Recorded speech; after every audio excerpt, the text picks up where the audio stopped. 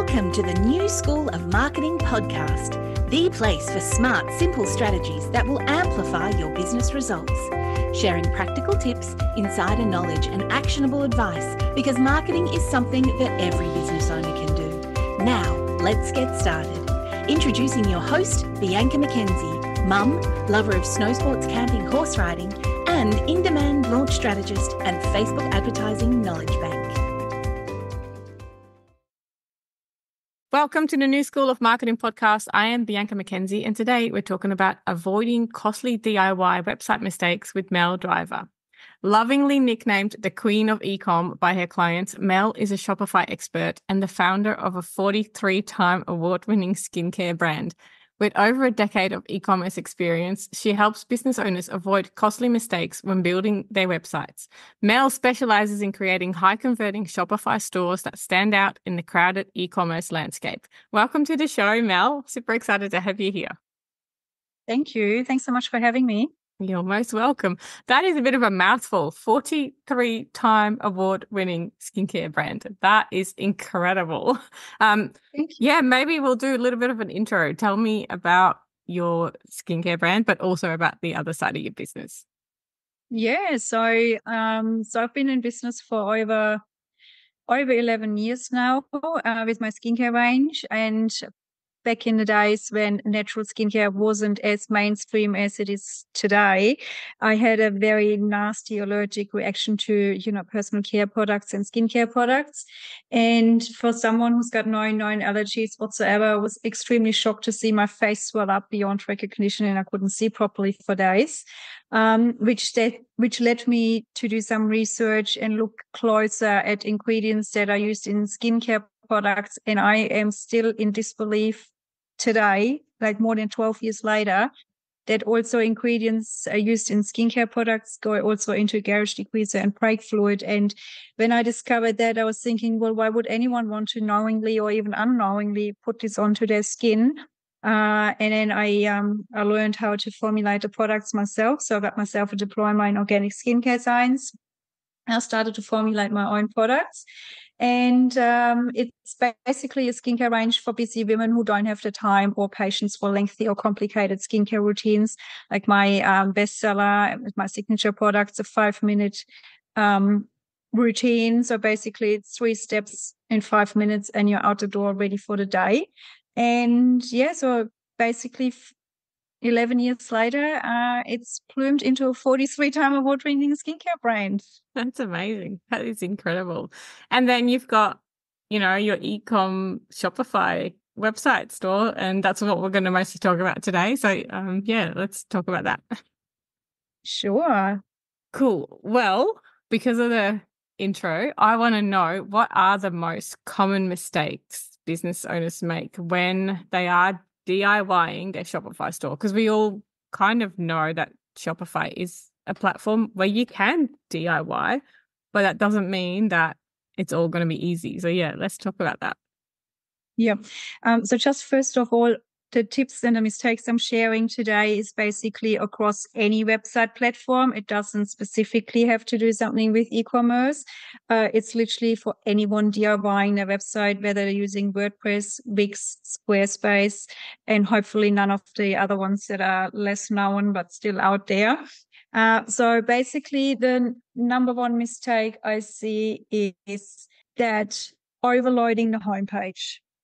Um, it's yeah. So a lot of business owners think when they are DIYing a website, they think that they have to overload the homepage with way too much information. So whether it's showing every single product they have available in store, using too many colors, sometimes not even enough colors to highlight specific elements, uh, or just adding excessive design elements like a cluttered homepage can overwhelm visitors and make it difficult for them to focus on what's important, like your products and your calls to action.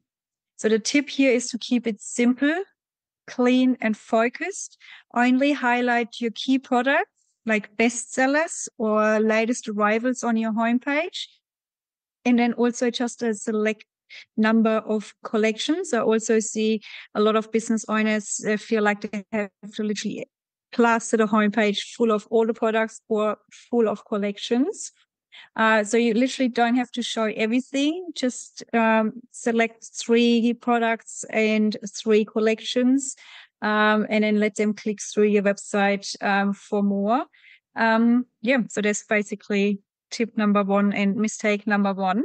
Okay. I like that, and I can totally uh, relate to that because yeah, an overwhelmed mind says no. So if you yeah open a website and it's just too much, you're like, um, no, I'm leaving.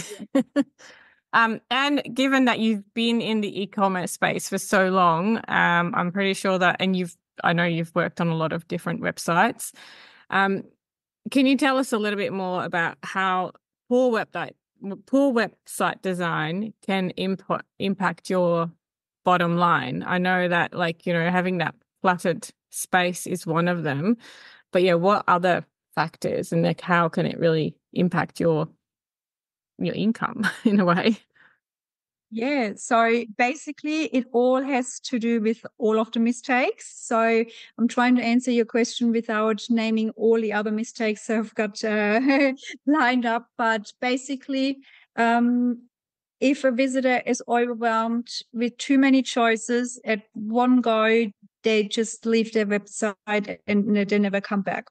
Uh, if a website is, uh, it looks like, and I'm always trying to be nice here, but I see so many DIY websites and they just look like a dog's breakfast. Um, so the quality, if the quality is not there, if, if it really looks like a DIY uh, a lot of people it would then reflect onto the product and people then think uh, if the website doesn't look very nice and homemade uh, then they do question the product quality and then they leave if a website loads way too slow uh, you know people don't have much attention span it needs to be fast otherwise they leave and the bottom line here is you'll lose out on the customer or client depending yeah. on obviously what business you're in.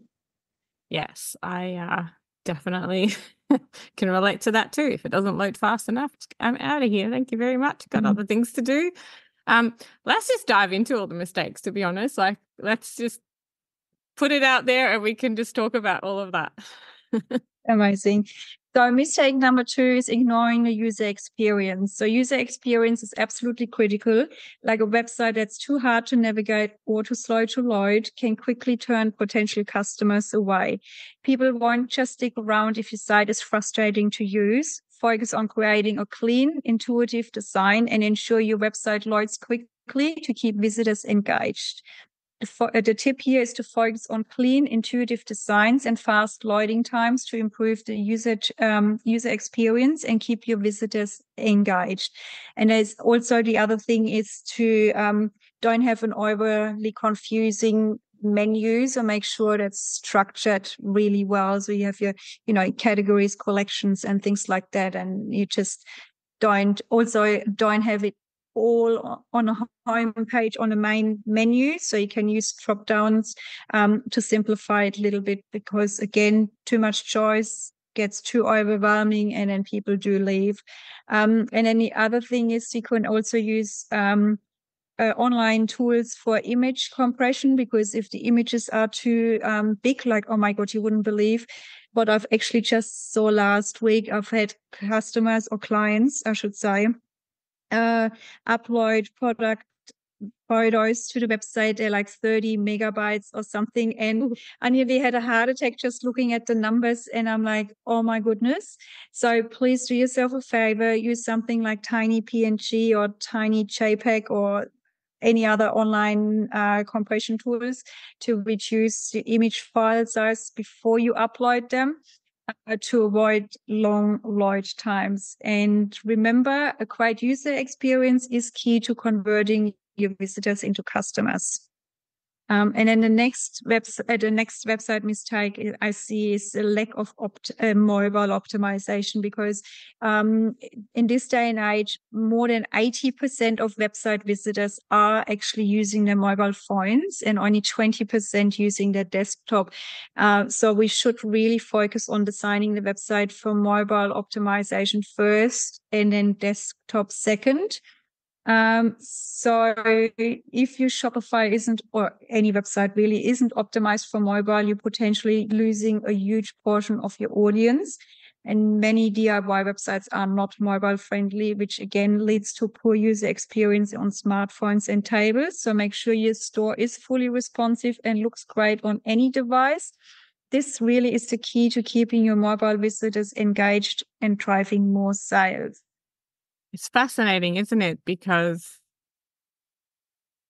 Shopify, in a way, I see as a platform that has the like it, it is built for both mobile and so it's like if you are not optimizing it you're kind of not using it to its full potential because the options are all there and i also find it interesting that people are not thinking mobile first. And i i understand why because we mostly create the websites on our computers. I mean i cannot do any website stuff on my phone.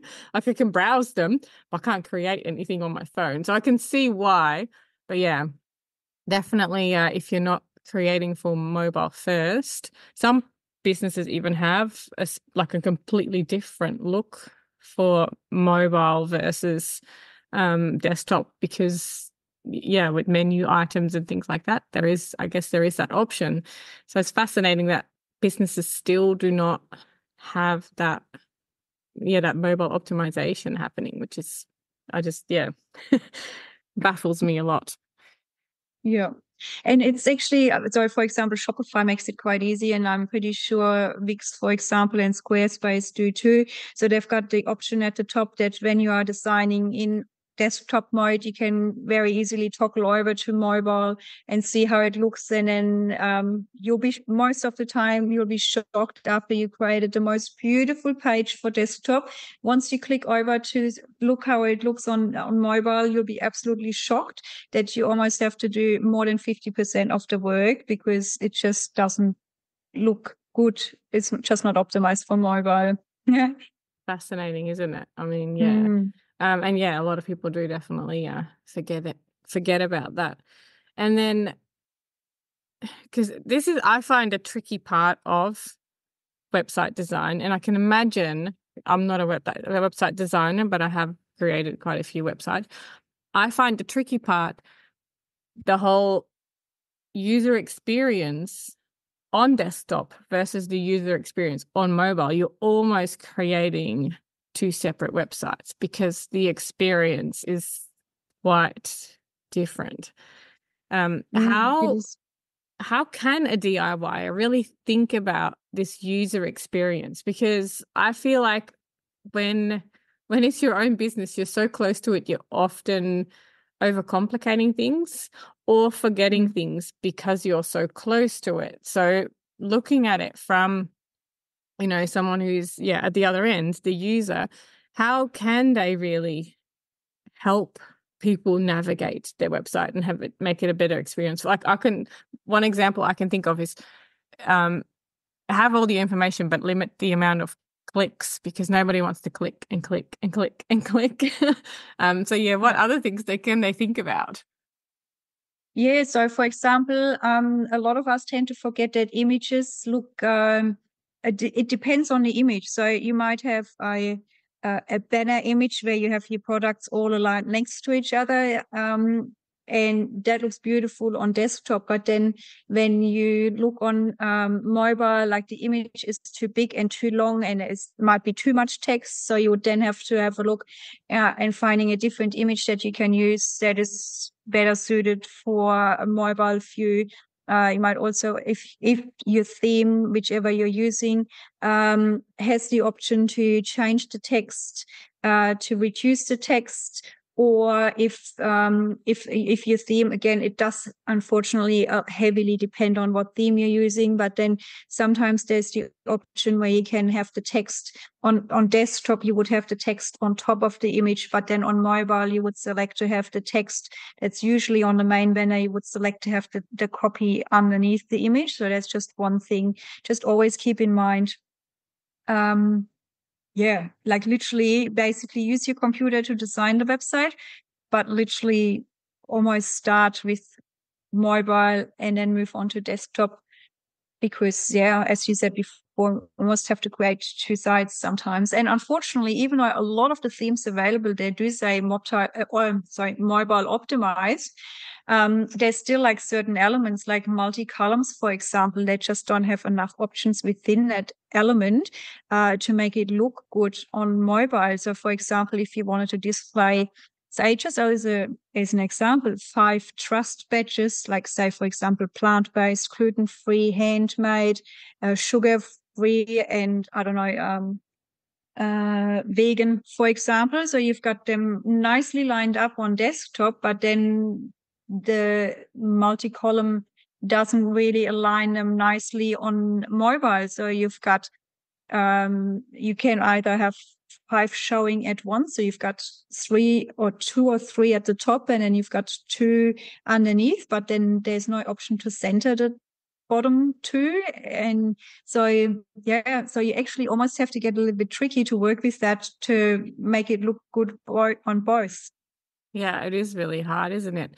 And I think at some point you got to kind of just make a decision on it. Look at your data, I guess, and see where most of your visitors are coming from and which experience is better. And and kind of just go, well, I'm only getting 20% of traffic from desktop. So maybe I should just make the mobile look the priority. And, you know, it's not going to be perfect on desktop kind of thing yeah. um, until there's a better solution for it, maybe. I don't know.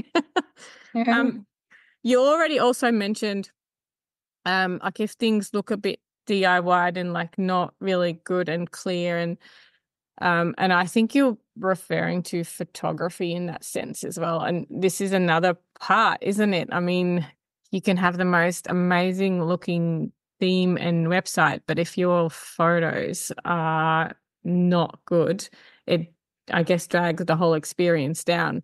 Um, can you talk a little bit about photography and how it affects sales and, and like what would you recommend people do? Yeah. So it's photography is actually on my list of mistakes as well. So many business owners think think that they can take their own product photos with an iPhone or digital camera, but poor product photography can seriously undermine the perceived quality of your products. Uh, so just as a as a little bit of a story, my husband actually studied photography, not so much product photography. However, he did study photography, and I may say he's a pretty good photographer. He tried to take my product photo uh, my product photos back in the days when I first started because I am, I was, as many of us, trying to DIY everything to keep the costs down of starting business. And so he's uh, taken the product photos and it just makes a huge, like, I mean, I can't say that it was, there's a, I mean, he took quite nice pictures, but still uh, today I would not ever upload them to a website. And so that's just as an example, even though you might think you can take photos, um, product photography is so much trickier, but because not just the trickiness uh, um, of taking the right picture, shadows, lights. You know, for example, my products they have a metallic logo, so that makes it extra hard to take photos. Uh, black packaging again is very hard to take photos of. Um, but not just that, there is so many elements that go into photography.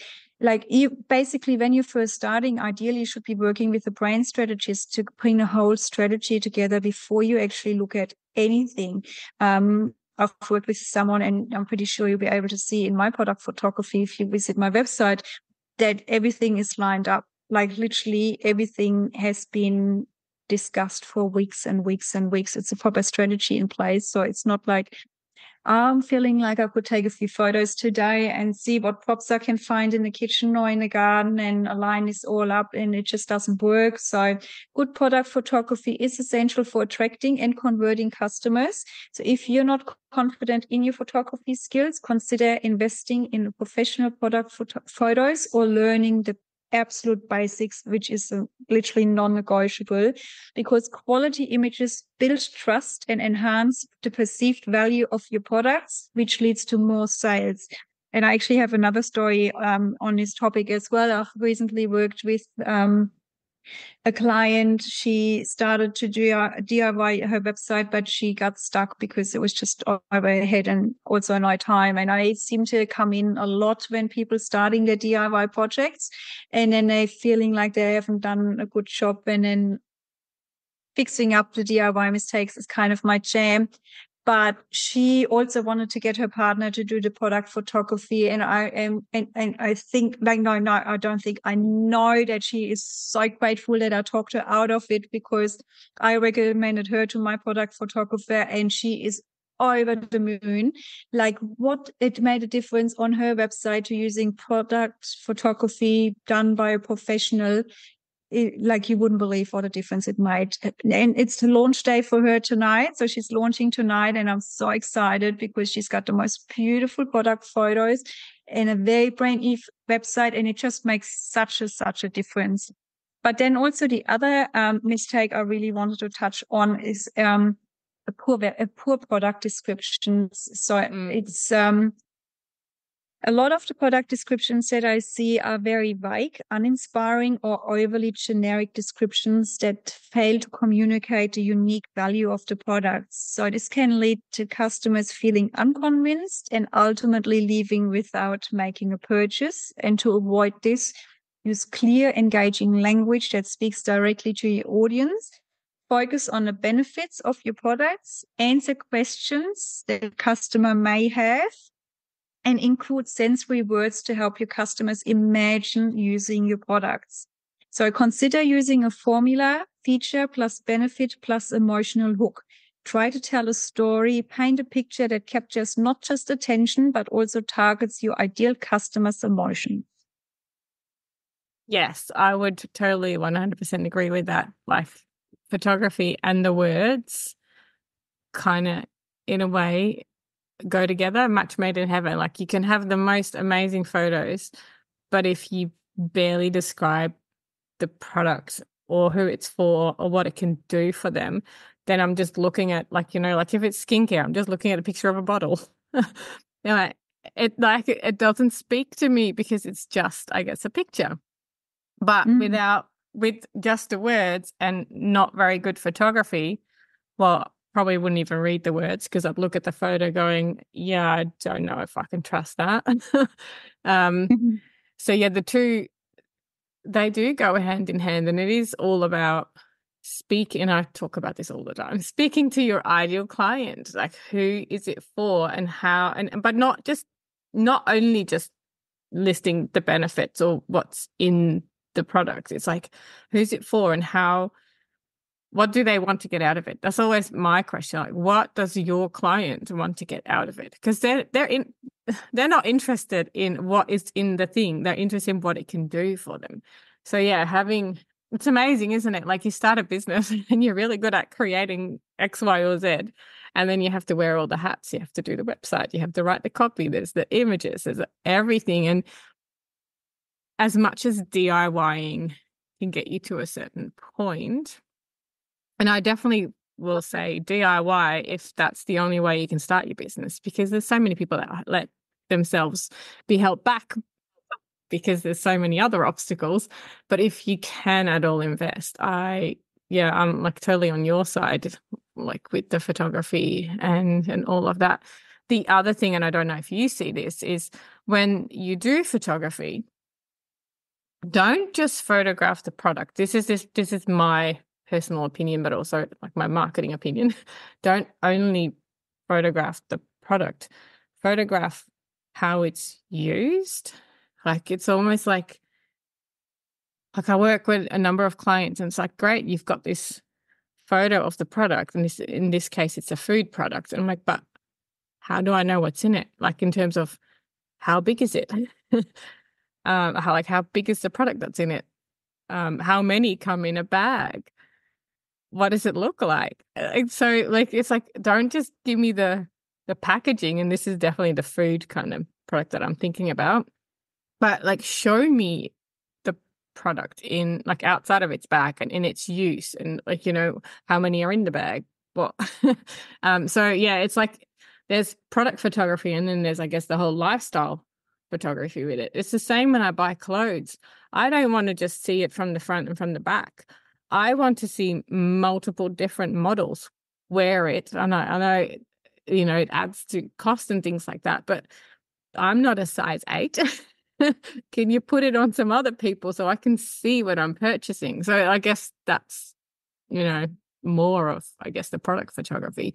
Um, and then, yeah, I agree with, with, with the words that you write, and it has a secondary benefit, and I really want to ask you about as well, because I I know and you know that SEO is really important and um, search engine optimization. Can you talk a little bit more about that? Because I don't think a lot of my audience would know what it is and what it does for your website. Why is it important? Yeah, absolutely. Again, it's actually one on uh, one of the mistakes on my list is ne- neglecting the SEO basics. So basically, SEO is crucial for making your website visible to potential customers, but it's often overlooked. So basically, what it does for you in very short, it's basically using the right keywords on the right pages so that once and hopefully you have submitted your sitemap to your Google Search Console, that people are able to find you using those keywords. So say, say for example, you're a, a candle maker uh, and you're selling coconut coconut wax candles. Uh, so you would definitely then wanting to use keywords. Obviously, you need to do some proper keyword research. This is just at the top of my head, but you want to, for example, use some keywords that include coconut uh, coconut wax candles. Uh, if you make them yourself, you want to probably include hand poured candles. If you're selling at markets locally, you probably want to do a little bit of local SEO and scatter a few locations within your area um, onto your website. And again, there needs to be a proper strategy. So don't just go wildly and plaster your website full of different keywords. Uh, so you have one main keyword per page, uh, and per page you have then that one keyword, and you have multiple keyword variations. So, as an example, you've got, say, for example, coconut wax candles is one keyword, and then you could then have hand poured candle, uh, hand poured candles or hand poured coconut wax candles or something like this, just as an example. And again, without using targeted keywords in your meta descriptions, product descriptions, titles, and optimized content, your site might not appear in search results and you miss out on valuable organic traffic. So make sure you do proper keyword research and there's some fantastic tools available uh, the majority is not free. So you've got Uber Suggest, which is from Neil Patel. That's on a more affordable side of things. Um, and then you have SEMrush and Ahrefs, and they are in the hundreds of dollars on a monthly basis. Um, and uh, but you also need to then ensure you have all your images uh, optimized. Um, and actually naming your images correctly doesn't just help you uh, doesn't just help google.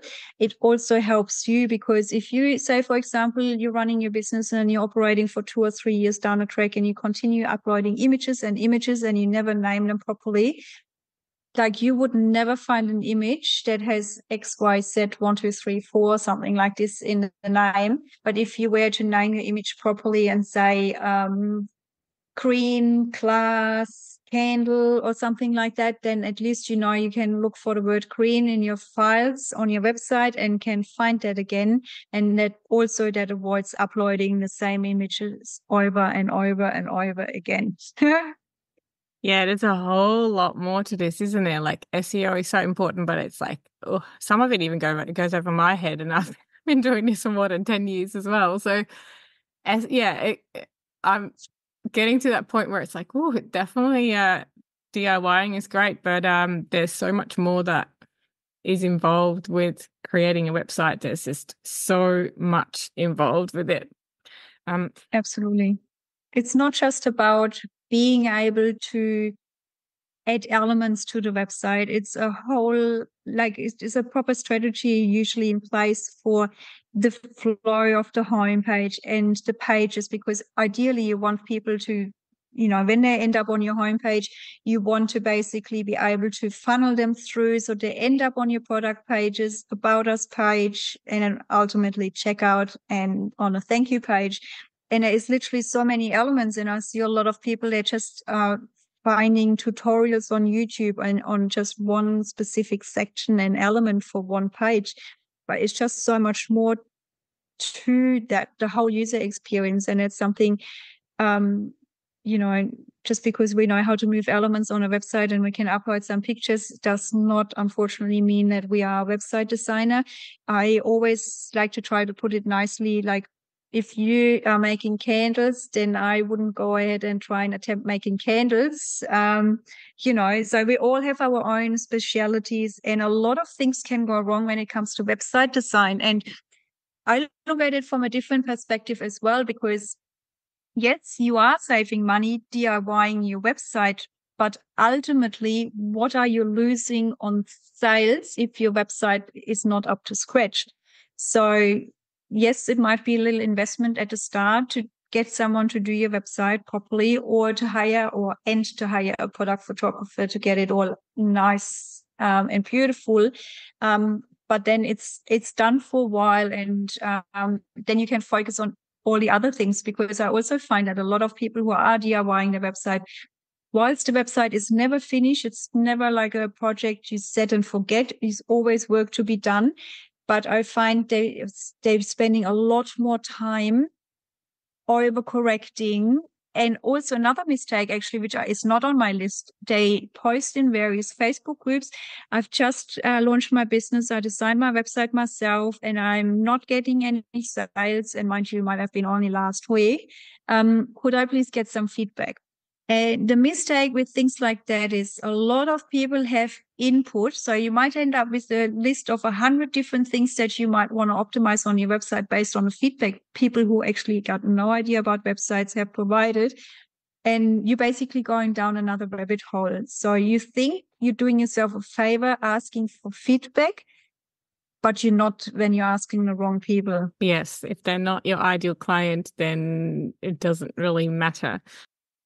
So yeah, SEO and strategy and like, there's just so many pieces to setting up a business and yeah, DIYing is great. But I don't know. And this is probably from me being in business for so long as well. You can try things, you can YouTube things, you can Facebook group things, you can ask for feedback. Like you said, if it's not from the right people, it's not necessarily the right feedback. so, what can people do to, I guess, one, stay on track? Because that's the other thing. If you go to 50 different YouTube sites and you get, you know, uh, feedback from all these different places, it's going to look like when you're building a house and you put an extension on on that side and then you put something on the roof on that side. Like, in the end, it looks terrible because you just put all these random bits and pieces on. And uh, a website is the same. And I know that when you start in business, there's just so much advice that comes at you. So, what can people do to stay on track, but also to really get something that they're proud of and that they're happy to market and that looks so professional and amazing, even if they haven't spent like $50,000 to start it all off? What can people do? Yeah, uh, well, there's a few things. So if you do want to stay on a DIY path, um, less is more and keep it simple is probably something that I would um, go with. Just really think about your product photography and your website in general. Um, asking friends and family for feedback is always a bad idea as well because most of the time they tell you they love it anyway. And um, again, but there's also the thing with asking for feedback in a, in various Facebook groups. So um, it, it, it, can be quite tricky to DIY and then get something that looks absolutely beautiful and professionally done and things like that. Um, in my opinion, I do not exactly recommend DIYing a complete website. I, uh, when I, and, and, just as an example, when I work on websites for my clients and after I deliver a website, I always have a walkthrough for an hour on Zoom because I always show them how they can do things themselves. Because, you know, sometimes you might want to update a product on the homepage or you have a special and then you want to know how to how to do things yourself and i i'd hate for them to having to go and pay someone to just change like a tiny little something on the website so i always uh, always do that it's very important to me that my my clients actually know how they can do things themselves um, they could uh, look at courses that are available. They're basically um, like my Shopify Blueprint course, for example. It's basically a course it's uh, easy to follow, walks you through step by step how to start creating a Shopify account, uh, all the way up to um, uh, connecting your domain to your store when everything is ready.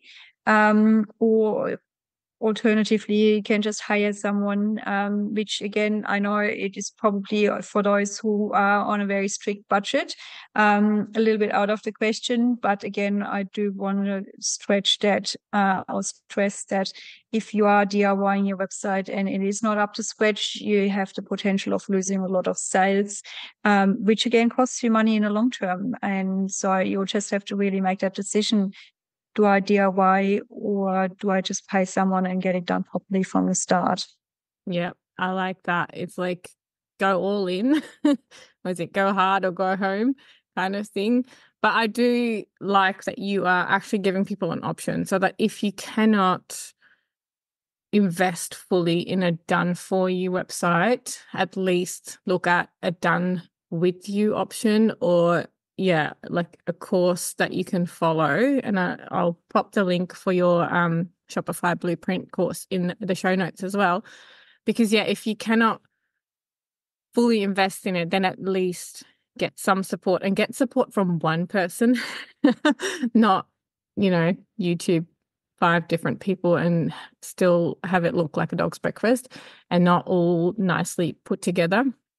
And I like that your course also has uh, you know connecting your domain because a lot of people don't actually know it's not like you you sign up for Shopify and you get the domain name and you need to link it and then potentially setting up an email address with that same domain. There are so many steps that are part of this journey of setting up a business and getting it ready getting your stuff ready to sell.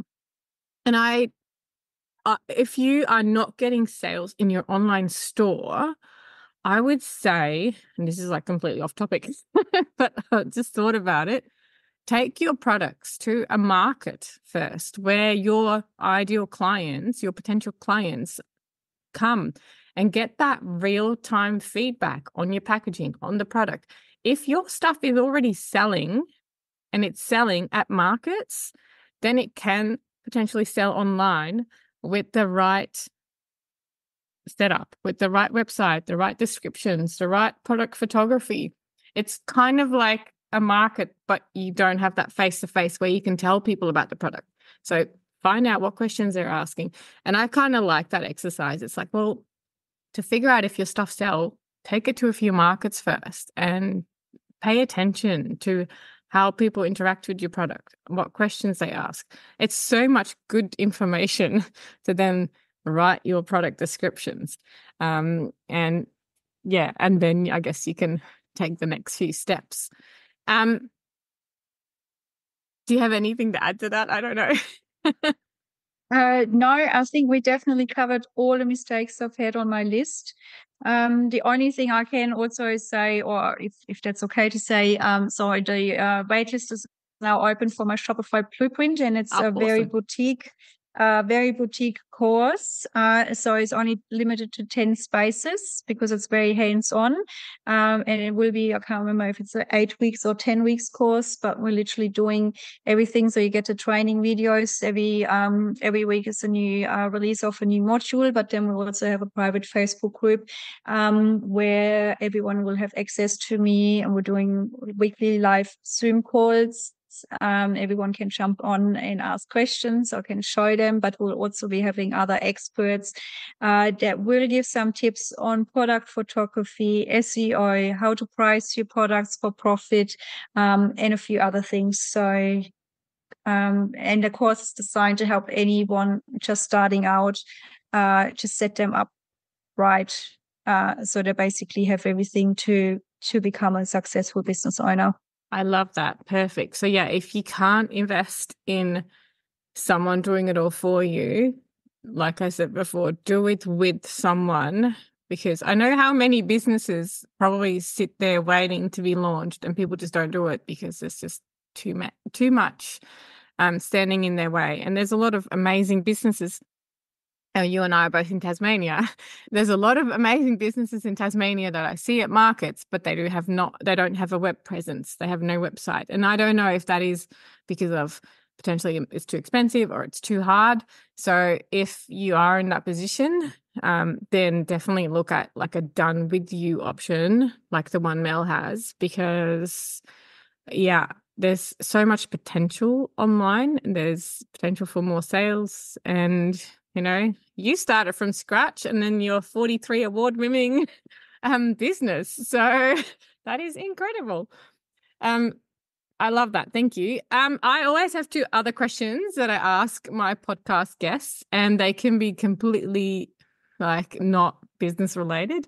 Um well one of them is what are you curious about right now? Oh that is a very good question. Um I don't know actually. I think I'm curious, always curious because I'm such a busy, busy woman and I'm always curious about how I can be healthier, live a healthier lifestyle that still fits into my crazy work day because obviously I'm running two businesses. So it's, it's as if one wasn't busy enough, right? Um, so I'm definitely always curious on how I can improve my health and the health of my family. Um, and still be there as well as a not really mom but fur mom and and wife and um, live healthy. Yeah that is that is one that i'm forever questioning too because it's like sometimes you don't feel like cooking. Like how can i still have those healthy options while also running around? Like yeah crazy. Um and if you had $5000 in your marketing budget what would you spend it on right now, I would ins- would definitely spend it on advertising. Everyone's oh, not everyone, but a lot of people say that. Like, I feel like I need to remove this question because it's, it's not necessary to say it because like I do ads. But um, I thought maybe Actually, you were going to. I was. I thought I maybe you were going to say one. photography. Yeah, no, I definitely am covered with my product photography. I actually have a really good product photographer on hand, and she's actually so reasonable you wouldn't believe it. No, but the other thing would be um, I am updating some of my stock. So I have a couple of products that have been out of stock for a little while, um, and they are just so expensive. Uh, so that definitely would be something to. I'm so desperate to add them back into the range because I get requests all the time, and yeah, that would be another really good investment, 5,000 for that. awesome. Thank you so much. Well, that is the end of this week's show. If you have questions about avoiding costly website mistakes, head to meldriver.co. I'll pop all of the links in the show notes for um, the blueprint course, but all of Mel's links as well. A really big thanks to you, Mel, for coming on the podcast. Really appreciate it. It's been my pleasure. Thank you for having me. And thanks to you for listening. If you like the show, don't forget to subscribe and leave a five star rating and review on iTunes, Spotify, or wherever you heard the podcast. Your review will help others find the show and learn more about the amazing world of online marketing. Don't forget to check out the show notes for this episode at newschoolofmarketing.com, where you can learn more about Mel, check out useful links, download free resources, and leave a comment about the show.